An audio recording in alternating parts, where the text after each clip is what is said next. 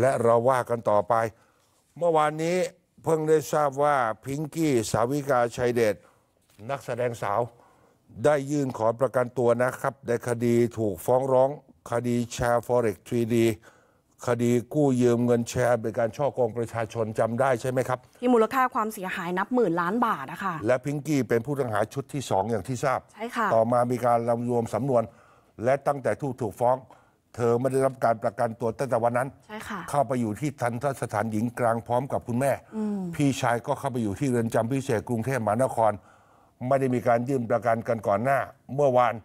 เป็นที่เปิดเผยว่าทนายความ ไปขอยื่นคำร้องพร้อมหลักทรัพย์เงินสด 3 ล้านบาท ขอปล่อยตัวชั่วคราวคุณพิงกี้อีกครั้งหนึ่งนะคะ แต่สารยาพิเคราะห์แล้ว เห็นว่าคดีนี้ศาลเคยมีคำสั่งไม่อนุญาตให้ปล่อยชั่วคราวจำเลยระหว่างพิจารณามาแล้ว โดยระบุเหตุผลไว้ชัดแจ้งแล้ว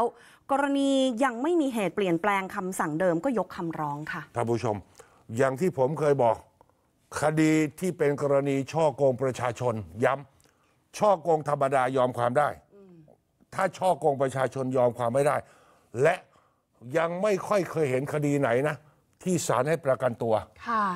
ยากอยู่เหมือนกัน อันนี้แจ้งความคืบหน้า